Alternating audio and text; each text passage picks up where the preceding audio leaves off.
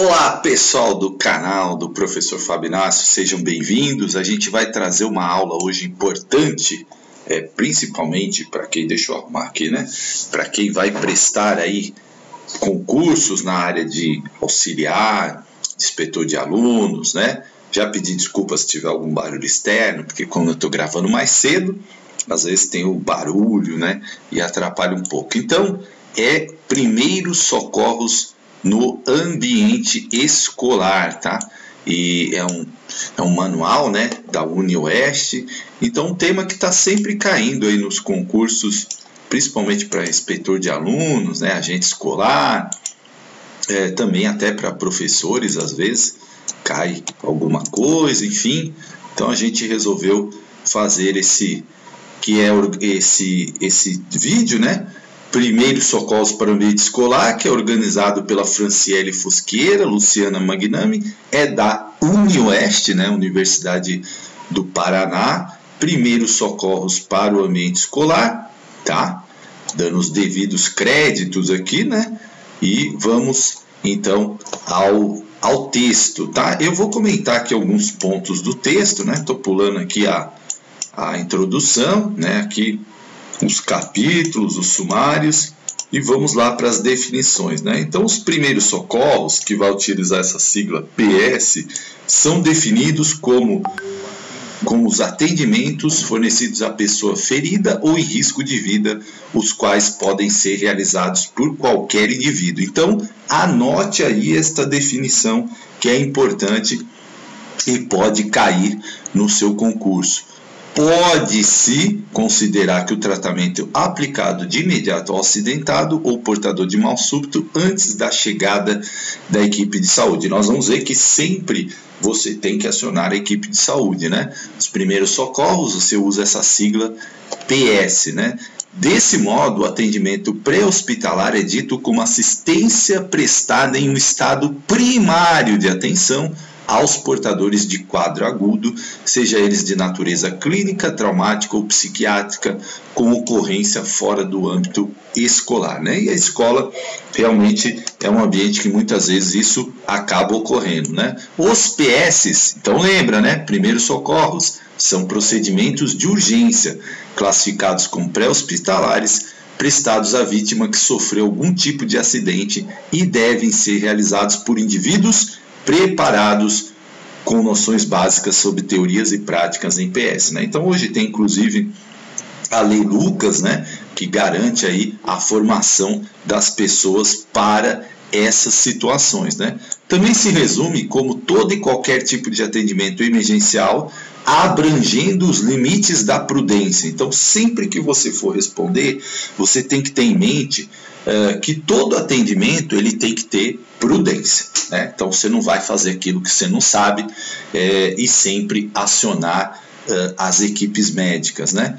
Ou seja, um suporte extra-hospitalar realizado com rapidez e segurança por pessoa habilitada. Outro conceito utilizado para primeiros socorros é, a, é da Cruz Vermelha Brasileira, diz respeito que essas são ações iniciais aplicadas às vítimas em situação de emergência no local que ocorreu o acidente, com a finalidade de manter a vítima sem provocar novas lesões ou agravar as já existentes até a chegada do socorro qualificado. Então nós vamos ver, por exemplo, existem determinados acidentes que você não pode movimentar a vítima ou tem que movimentar com determinados critérios e situações para você não provocar mais danos, né?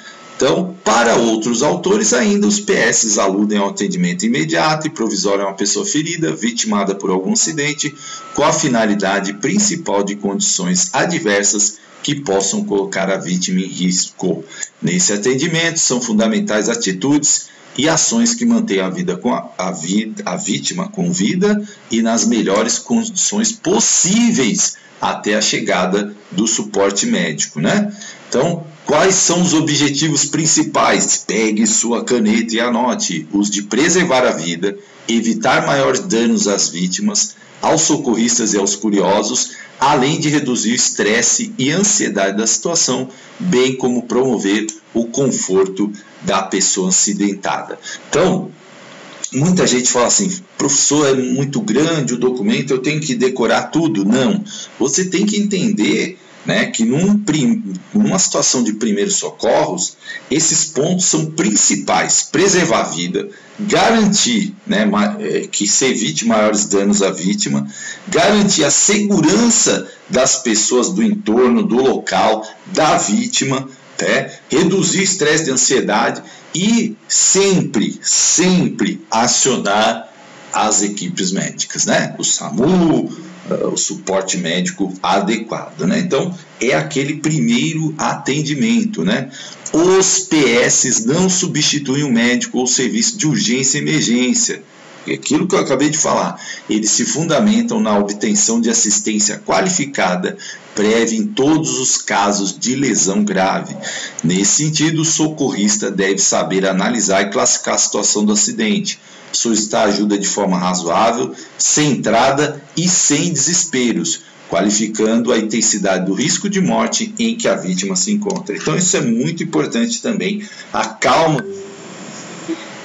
É, não se desesperar, né? Uh, tem que analisar a situação, tomar todos os cuidados para que não se é, lesione mais a vítima, né? Naquela, não é aquela ansiedade de socorrer e aí de repente faz um movimento errado e a pessoa pode até ficar pra, paraplégica, tetraplégica ou causar um dano maior, né? Então você tem que ter muita calma, fazer os procedimentos indicados, né? E sempre, sempre acionar o socorro. Nesse âmbito, intervenções educativas para PS são ponto de partida para o atendimento na prevenção de complicações após os acidentes e preservação de vida. É relevante que a comunidade escolar possua conhecimento em atendimento PS, visando a elaboração de estratégias de prevenção ao atendimento de acidentes dentro das escolas, o que torna esses profissionais aptos para identificar a, a, gravidade das ocorrências e conectar o serviço especializado, agindo com calma, rapidez e eficiência. Assim, vale ressaltar os aspectos mais importantes que se referem à percepção sobre a dimensão e a gravidade do conhecimento. A solicitação de auxílio de outra pessoa próxima e capacitada, entidades públicas competentes, como os órgãos de saúde, SAMU, Serviço de Atendimento Móvel de Urgência, Corpo de Bombeiros, SIAT, Serviço Integrado de Atendimento ao Trauma e Emergência e também a Polícia Militar. Veja que essa comunicação é extremamente importante, né? Então, é, dependendo da gravidade do acidente e da situação. Desse modo, o indivíduo que primeiro inicia o auxílio deve manter a calma e agir sem pânico, procedendo de forma rápida, precisa e com precaução, estar atento às condições que não coloquem em risco a vida da vítima e dele mesmo Além disso, o socorrista também deve transmitir tranquilidade e confiança aos envolvidos em estado consciente, mantendo improviso e agilidade empregada aos conhecimentos em PS.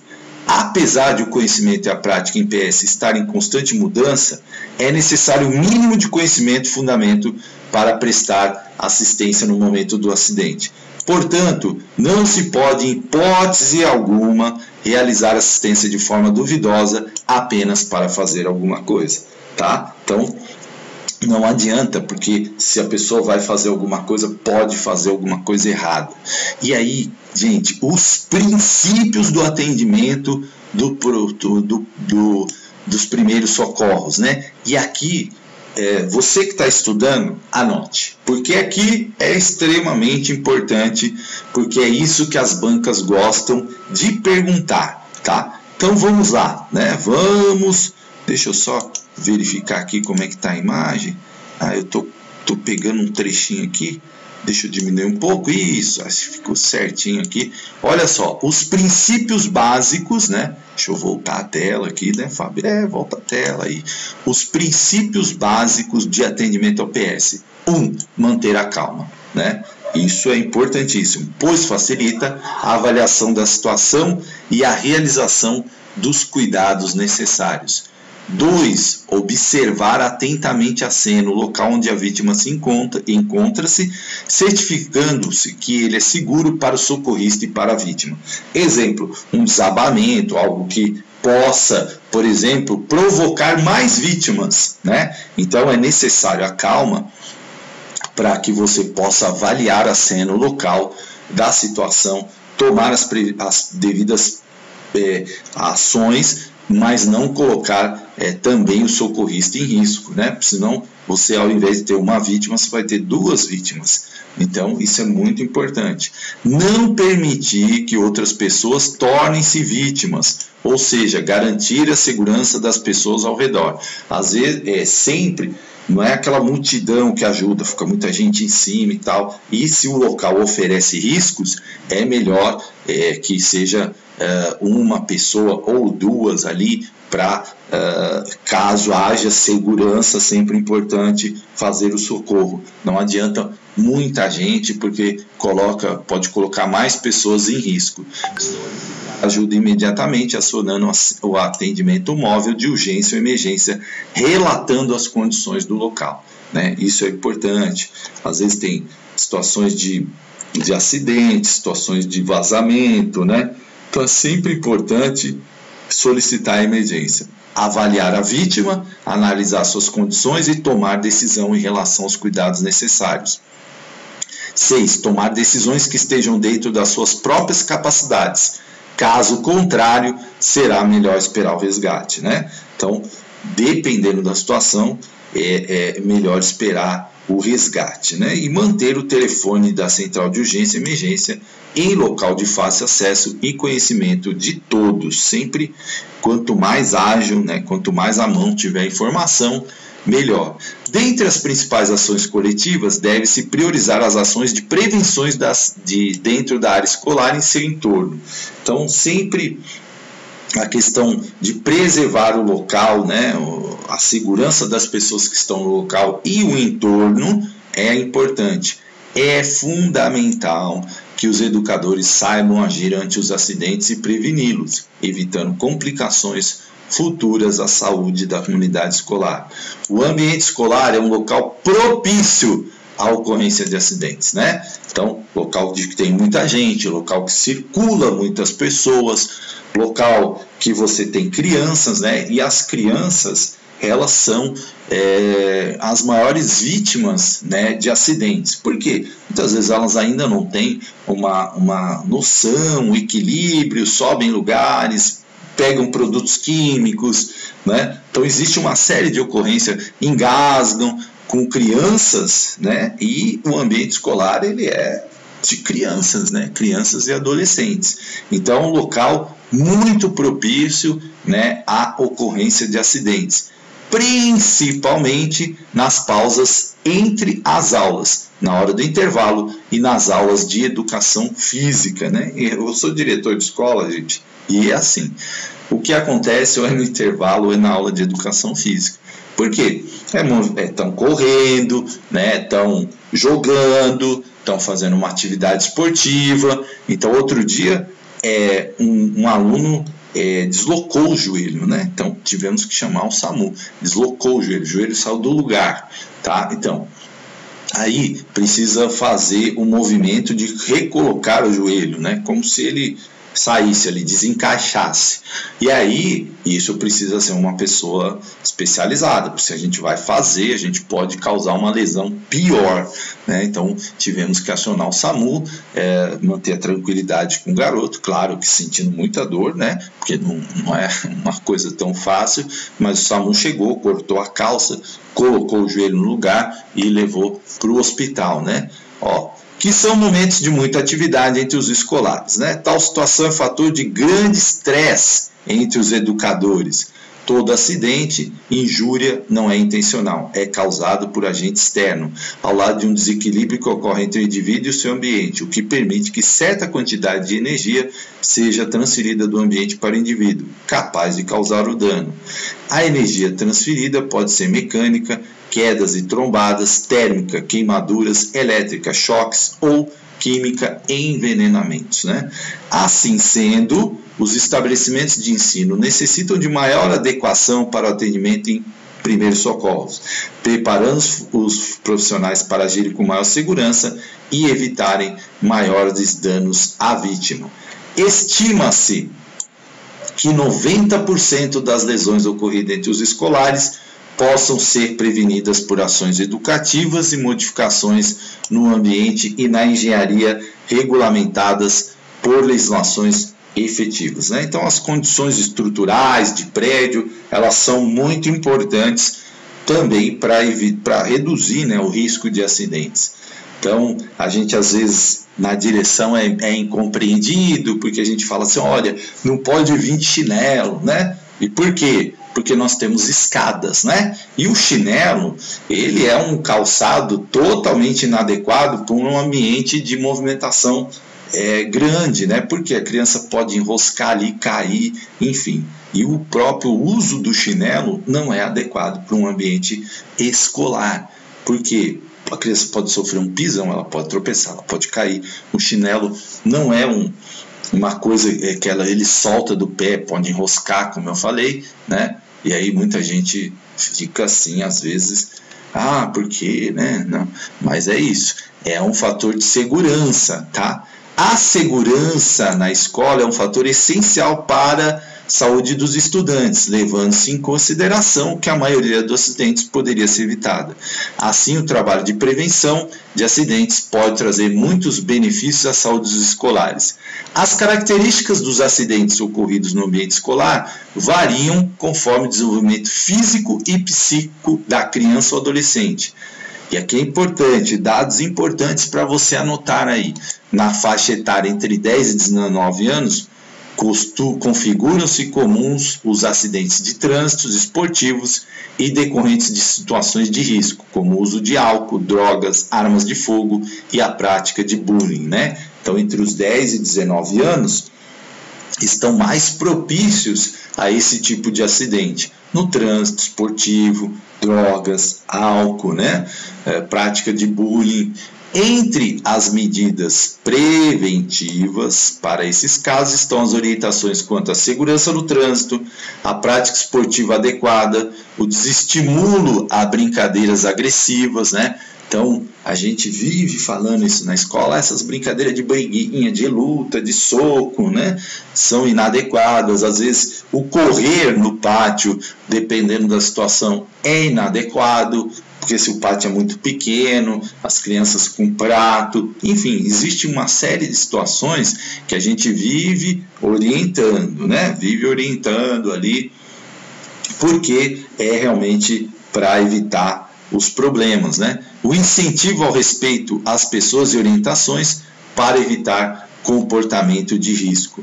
Os docentes são importantes agentes educadores e também podem ser multiplicadores das ações de primeiros socorros, contribuindo para atitudes preventivas e para o bem comum.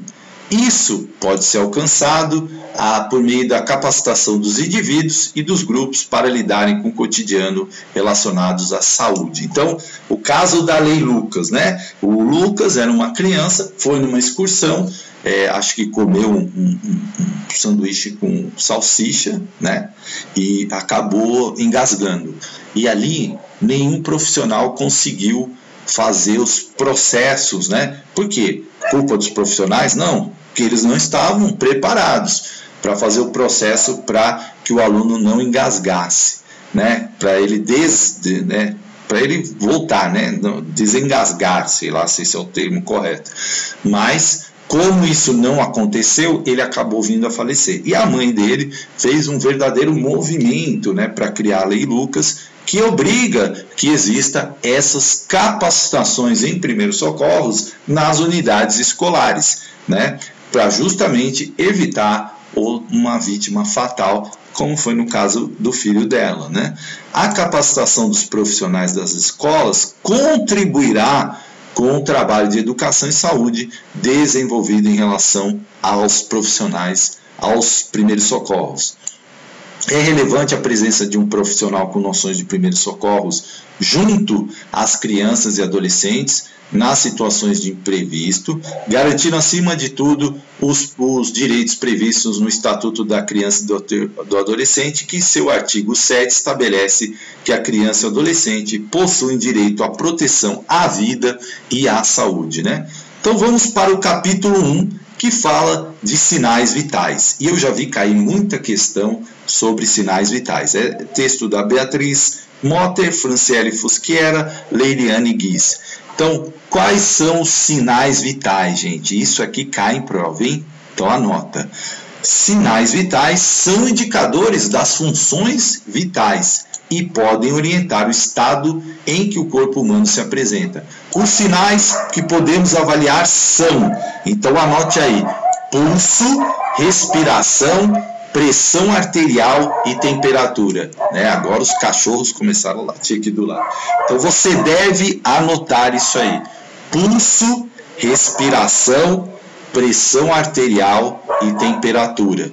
Esse, essa questão já caiu várias vezes em concursos públicos, tá? Pulso, respiração, pressão arterial e temperatura. Você vai ouvir minha voz né, sem os cachorros, obviamente, falando disso. Pulso, respiração, pressão arterial e temperatura. E na obtenção dos sinais vitais, né, devemos considerar as seguintes condições: condições ambientais, tais como a temperatura e a umidade do local, que podem causar né, variação dos valores condições pessoais, como exercício físico recente, tensão emocional e alimentação. Né? Então, por exemplo, é, é uma pulsação mais acelerada, a, a criança estava jogando futebol. Né? É óbvio que o pulso vai estar mais, mais acelerado. Né? Então, isso tem que se levar em conta, né? Alimentação. Criança, a gente tem muito isso, acontece na escola. Criança vai, não toma café, faz atividade física, né? Embora a escola forneça café, forneça, mas às vezes a criança não quer comer e tal, e aí ela faz atividade física baixa, né? Ali a, a energia dela ela acaba passando mal, né? Então, isso é muito comum. Tensão emocional, então, nem se fala, tá? Então não esqueça, sinais vitais, pulso, respiração, pressão arterial e temperatura, né? É o PRPT, né? PRPT. Pulso, respiração, pressão arterial e temperatura. Pulso, respiração, pressão arterial e temperatura. Não vai esquecer disso. Condições de equipamento né, para mensuração que devem ser apropriados e calibrados regularmente. Né? Então, existem muitos é, equipamentos de medir pressão que ficam descalibrados, né? E o uso de equipamentos inapropriados ou descalibrados pode resultar em valores falsos, né? Aqueles mais baratos. O pulso, né? Tem até uma música do Titãs, o pulso ainda pulsa, né? O pulso é a onda de distensão de uma artéria transmitida pela pressão que o coração exerce sobre o sangue. Essa onda é perceptível pela palpação de uma artéria e se repete com, com a regularidade segundo os batimentos do coração. A determinação do pulso torna-se possível avaliar se a circulação do coração estão normais ou não. O pulso deve ser avaliado em relação ao ritmo, rítmico ou arritmíco. Né? Então, se está ali num, num ritmo bom ou se está tendo uma arritmia, pode ser até uma arritmia cardíaca, né? Pulsação que vai ali dando oscilações, né? Frequência, tensão e volume, cheio ou filiforme, fraco, tá? Quanto à frequência, existe uma variação, né, de acordo com a tabela. Ó, 60 a 100 é um pulso normal para adulto, tá? Então, se você pegar uma pulsação de um, de um adulto, tiver de 100 batimentos, de 60 até 100, é normal. Eu, por exemplo, tenho uma frequência cardíaca às vezes baixa, né? Então, às vezes eu tô com 56, 55, né?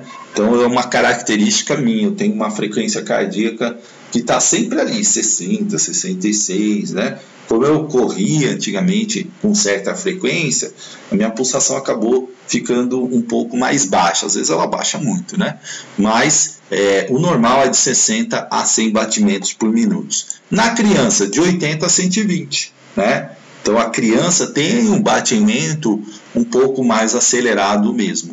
E nos bebês, muito mais, né? De 100 a 160. Às vezes tem gente que fala, nossa, o bebê está com batimento de 130. Normal, normal.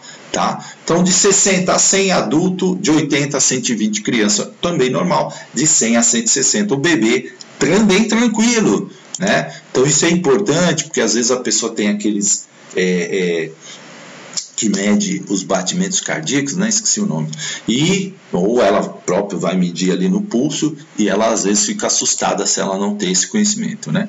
A alteração na frequência do pulso demonstra uma alteração da quantidade de fluxo sanguíneo. As causas fisiológicas que aumentam os batimentos do pulso são digestão, né? então depois de comer, normalmente a gente tem um pouco mais de, de, de, batimento cardíaco, né? Aumenta um pouco. Exercícios físicos, obviamente, né? Quem tem aqueles relógios que medem é, também o batimento, eu tenho um, agora eu nem sei onde eu deixei ele, né? Então eu estou sempre olhando ali meus batimentos. Então quando faço exercício físico, ele aumenta. Banho frio também, né? Porque o corpo faz o sangue circular para aquecer, né? Para tentar ali é, dependendo da temperatura. Estado de excitação emocional, certo? Então, eu, por exemplo, já vivi uma situação de crise de ansiedade. E, às vezes, o meu estado de, de crise, de ansiedade, os meus batimentos eles baixavam tanto né? E às vezes aumentava, né? Enfim, era uma questão emocional. E qualquer estado de reatividade do organismo. E você vê como é curioso, né? É, é, eu tive a crise de ansiedade quando eu comecei a ser concurseiro, é, não porque eu comecei a ser concurseiro, porque eu, eu estava precisando passar um concurso para trabalhar. Né? Então, foi a primeira vez que eu fiquei desempregado na minha vida e aquilo foi me dando uma sensação ruim e tal, e eu né? E aí, né, gra graças a Deus deu tudo certo, consegui sucesso, né? É, nos meus concursos, estou aqui procurando ajudar vocês como uma forma de gratidão para que vocês também tenham sucesso, né? A taquicardia é o aumento da frequência cardíaca acima de 100 batimentos nos adultos. Então anote aí: taquicardia, aumento. Braquicardia, redução, né? Diminuição. Ó, o que que eu tenho? Bradicardia, né? Diminuição da frequência cardíaca de 60 batimentos. Então, de vez em quando, eu tenho umas bradicardias, né? E a taquicardia, ela é um aumento. A bradicardia, redução. Isso pode cair com perguntar, né? E você vai lembrar do que eu falei, vai ouvir a minha voz e não vai errar a questão. Os melhores locais para se palpar o pulso são as artérias de grosso calibre, que se encontram próximos à superfície cutânea, né? aquelas veias que saltam. O pulso radial é, pode ser sentido na parte da frente do punho. Nós vamos ver a figura 1, né? Vou mostrar aqui para vocês, ó. Essa parte aqui, ó, né? Ou aqui, ó, a, palpa, a palpação do pulso carótido, né? Ai, eu sempre confuso. Carótida, né? Então, aqui ou aqui são os ideais, né? Então, guarde isso. O pulso carótido é pulso sentido na artéria carótida, que se encontra ao lado do pescoço. Pode-se também sentir o pulso é, palpando as artérias branquial, na dobra do braço, femoral, na raiz da coxa ou região inguinal e pedioso no dorso do pé, né? Mas é, o ideal é sempre esses apresentados na figura, né? Pode-se mensurar o pulso pela ausculta cardíaca no ápice do coração, do lado esquerdo do tórax, né? É, levemente abaixo do mamilo. Para isso se usa um estetoscópio, aquele é, equipamento do médico que a gente conhece, né? O médico vai lá, bota no nosso, né? Todo mundo já passou por isso, certo? Quando a gente vai no médico, ele nem usa o estetoscópio, tem gente que fica brava, né? Nem olhou, nem, né? nem mediu minha pressão também, né? Então, a gente gosta, né? O pessoal gosta. Então, a palpação do pulso radial e palpação do pulso carótide, né? Uh, de acordo com o manual do Corpo de Bombeiros do Paraná, o método de palpação do pulso radial deve ser realizado com o braço da vítima em posição relaxada, né? Não pode estar tenso. Para o pulso carótide, deve-se palpar a cartilagem tireoide no pescoço e deslizar o dedo lateralmente até sentir o pulso. Você vai sentir uma, o batimento, né? Utilizando-se os dedos para sentir o pulso indicador e médio. Recomenda-se o uso das pontas dos dedos e nunca o polegar, tá? Pois o examinador poderá sentir seu próprio pulso, porque o polegar, gente, ele é, a gente sente o pulso nele, né? Então esses dois dedos eles são ideais, senão a gente pode confundir os nossos nossos batimentos com os batimentos da pessoa que a gente está medindo, né? Evitar muita pressão para evitar a interrupção do pulso da vítima e contar durante 60 segundos, né? Não pode ali apertar também com tudo, né? Você tem que apertar ali com moderação, né? Não tão pressionando tanto, né? Uma pressão leve, certo? Respiração, né? Respiração, outro termo importante. Espero que você esteja anotando tudo. Tacardia, bracardia, né? Pulsação, quanto que é? A respiração é involuntária e automática, né? Então, a gente respira normalmente sem pensar, vou respirar, né? A gente vai respirando. É a respiração que permite a ventilação e a oxigenação do organismo. Por isso que ela é tão importante, né? Parar de respirar, você para de oxigenar o organismo e isso pode te trazer aí danos sérios, né? Fatores diversos como secreções, vômito, corpo estranho e edema pode ocasionar a obstrução das vias aéreas. A obstrução produz asfixia que, se prolongada, resulta numa parada cardiorrespiratória. Aí né, um problema gravíssimo, né? O coração parar, né? Aí é um problema sério. O processo respiratório manifesta-se fisicamente através dos movimentos ritmados de inspiração e expiração. Né? Eu, por exemplo, para é, trabalhar a questão da ansiedade, eu passei a fazer meditação. Né? Então, a meditação ensina a gente é, para você dar aquela desligada né, no cérebro, isso é muito importante. Desligar o cérebro não, né? Mas para você livrar os pensamentos, aquelas coisas que ficam te perturbando o dia todo, você concentra na inspiração, né? Aí você inspira e expira. Inspira e expira. Você enche o peito. Inspira pelo nariz e expira pela boca. Aí você vai, né, acalmando ali. Você começa a perceber os seus, a sua respiração, né? E isso vai te trazendo uma certa tranquilidade. Na inspiração existe a contração dos músculos que participam do processo respiratório e na expiração esses músculos relaxam-se espontaneamente.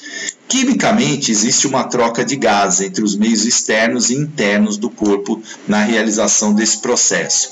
O organismo recebe oxigênio atmosférico e elimina dióxido de carbono. A avaliação da respiração inclui frequência respiratória, movimentos respiratórios por minuto, caráter superficial e profunda e ritmo regular e irregular. Deve-se avaliar a respiração tendo em vista os sinais e sintomas, comprometimento respiratório, cianose, arroxeamento da pele. Anota aí, cianose, quando a pessoa começa a ficar né, roxa, significa não está respirando direito. Inquietação, dispneia, dificuldade respiratória, né? É, na, na, no, muita gente no Covid sentiu isso, né? E som respiratório anormais, como por exemplo o chiado. A frequência da respiração é contada pela quantidade de vezes que uma pessoa realiza os movimentos combinados de inspiração e expiração. Para a verificação da frequência da respiração, conta-se 60 segundos o número de vezes que uma pessoa realiza os movimentos respiratórios, como se pode ver na figura 3, né? Inspiração mais inspiração mais uma inspiração. Um movimento respiratório, que é o movimento completo. Anota isso aí, hein? Como que é o movimento completo? Movimento respiratório, inspiração, expiração. Lembra que eu falei da meditação, né? Inspira, expira, inspira, expira. Cada isso é um movimento respiratório, ó. Traqueia, né? Pulmão, né? E o ideal é você encher o pulmão, né? No exercício, né? Fazer o pulmão, ó, a expandir. Fups, né? O diafragma, você vai sentir ele movimentar, inclusive. É a expiração e a inspiração, tá? Então, a contagem pode ser observada é, observando a elevação do tórax ou abdômen. Em crianças menores, o movimento torácico é menos evidente, né? É, do que nos adultos e usualmente ocorre próximo ao abdômen, aquela respiração, né? A mão colocada levemente sobre a parte inferior e superior do abdômen pode facilitar a contagem da atividade respiratória. A frequência média por minuto dos movimentos respiratórios com idade os valores normais são adulto de 12 a 20 movimentos respiratórios, criança de 20 a 30, bebê de 30 a 60. Ó, relaciona lá com a frequência cardíaca. Você percebeu? O do adulto é sempre menos. Né? O da criança, um pouco mais. O do bebê é sempre muito maior. Né? É sempre maior, né? Muito não. Tá? Então, isso é uma forma de você, ao responder uma questão, já ter esse, essa ideia na sua cabeça, né? Opa, o adulto é menor que a criança e a criança é menor que o bebê. Quem tem mais intensidade de respiração e frequência cardíaca? O bebê. A criança depois, o adulto depois, tá? Para que eh, são formas de você ir é, é, absorvendo o conteúdo sem você estar aí decorando, né? Então, fazendo essas relações, tá? Principais tipos de respiração. Eupneia, guarde aí anote, respiração com movimentos regulares, sem dificuldade e frequência média normal. Né? Então, é uma respiração eupneia, porque aí a banca pode pegar, né? Ah, fulano apresenta eupneia, né? O que, que você faz? Não, ele está tranquilo, né? Eupneia, tá bom, regular. Então a banca sabe disso, ela vai explorar é, esses aqueles candidatos que não estudaram. Apneia, essa sim, é a ausência dos movimentos respiratórios, equivale a uma parada respiratória, né? Então é a apneia. Dispneia, dificuldade na execução dos movimentos respiratórios. Bradipneia, diminuição na frequência média dos, dos movimentos respiratórios. Lembra da bradicardia? Né? Ó, a bradipneia. Né? Então, olha só, apneia, ausência. Dispneia, dificuldade. Bradipneia, diminuição. E a taquipneia, aumento. Né? Olha lá, que nem ataque cardíaco. Ó, oh, você vai guardando, né? Você vai guardando. E a eupneia? Eupneia, ok, né? Tô bem. Eu tô bem. Eupneia. É, inventei agora isso. Ortopneia. O ascendentado respira melhor quando sentado, né? Isso já, já aconteceu comigo, né? Então, quando a gente está sentado, a gente respira melhor. Se a gente estiver deitado, a gente tem dificuldade de respirar. E a hiperpneia ou hiperventilação é quando ocorre o aumento da frequência. Né? Então, a hiperpneia é maior do que a taquipneia. Né? Ela é um movimento mais acelerado e mais profundo da respiração. Tá? Fatores fisiopatológicos podem alterar a necessidade de oxigênio, ou concentração de gases carbonos no sangue, e isso pode contribuir para o aumento ou diminuição da frequência cardíaca, né? Então, a Covid provocou muito isso, né? Os exercícios físicos, as emoções fortes e banhos frios tendem a aumentar a frequência respiratória, né? Então, já falamos disso, a mesma coisa na frequência cardíaca, o corpo tende a acelerar, né, para é, dar conta das situações. O nosso corpo ele reage muito, por isso que eu falo que emoção está muito ligada ao cognitivo, né? Tem gente, por exemplo, vai fazer uma prova, fica nervoso, né? Aí aumenta a frequência cardíaca, aumenta, né?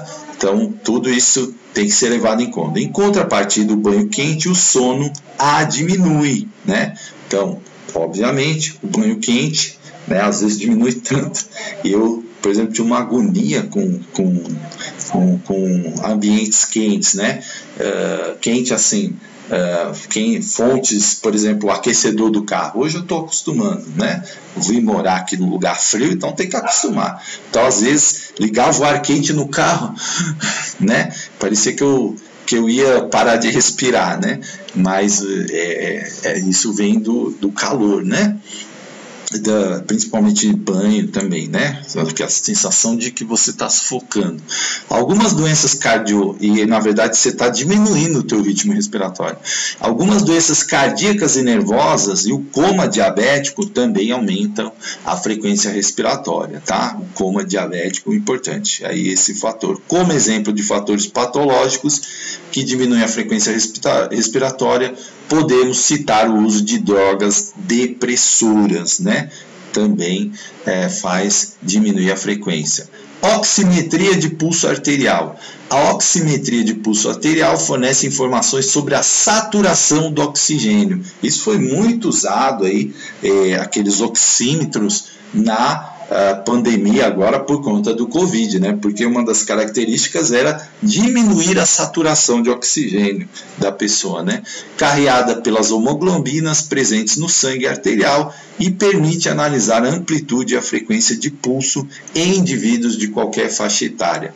A monitoração da saturação de oxigênio fornece informação acerca dos sistemas cardíaco e respiratório e do transporte de, oxigênio pelo organismo. A oximetria de pulso arterial é medida por equipamentos denominados oxímetros de pulso, que utilizam sensores, emissores e detectores de luz de comprimento de onda vermelha e infravermelha. O sangue saturado de oxigênio tem um espectro de absorção de luz diferente do sangue não saturado de oxigênio. Assim, a quantidade de luz no espectro vermelho e infravermelho absorvida pelo sangue pode ser utilizado para calcular a taxa da hemoglobina oxigenada em relação à hemoglobina total do sangue arterial. Os valores normais situam-se na maioria entre 95 a 100%. Então, se a pessoa está com uma saturação de 98, tá bom. 95, tá bom. 94, hum, 93, hum, 90, tá baixando, né? Então, uma saturação baixa, né? Preocupa, né? Preocupa e aí requer cuidados. Uh, os principais locais de instalação dos sensores são as extremidades digitais, né? as mãos, o lóbulo da orelha, dentre outros. A captação de luz pulsátil permite verificar a amplitude e a frequência do pulso. Alguns fatores podem ocasionar problemas na verificação do SpO2 por meio da oximetria de pulso, destacando-se interferência luminosa, luzes fluorescentes, incidência direta de raios solares, esmalte de unhas. Olha, gente, as bancas adoram perguntar coisas curiosas, né? E que as pessoas, em termos assim, às vezes se ela não estudou, ela não vai saber. Aí a banca pergunta: olha, o oxímetro e tal, pode sofrer interferência de quais itens? Aí vai colocar lá, né? É, exceto, ou colocar lá, interferência luminosa, né? Esmalte de unha. O cara fala: não, esmalte de unha não, tem nada a ver, né? E aí tem. Né? É assim que a banca pega o erro do, da pessoa que não estudou, da pessoa que não acompanha o canal aqui. Né? Baixa perfunção periférica, anemia, pessoa parada em parada cardiorrespiratória ou em choque também produzem aí alterações, tá bom? Então isso é importantíssimo, né? E é, gente, eu vou dividir essa aula, né? Obviamente em dois em dois ou três ou quatro blocos para não ficar aulas muito extensas, né? E para que você possa absorvendo. E depois tentarei, né, fazer aí uh, um, algumas questões sobre essas aulas, né? Mas é importante você anotar aí essas informações, porque isso cai bastante nos concursos é, é um tema que você precisa estar bastante atento, tá bom? Então, ó, vou dar uma paradinha. Se você quiser, deixe seu like, contribua aí com o canal também, tem o valeu, ajude a gente a manter esse trabalho, né? A gente vai dar a paradinha e a gente volta no segundo vídeo falando de pressão arterial, né? E aí vamos falar mais uns itens, alguns itens importantes aí da, dos primeiros socorros, tá bom? Grande abraço, até o próximo vídeo.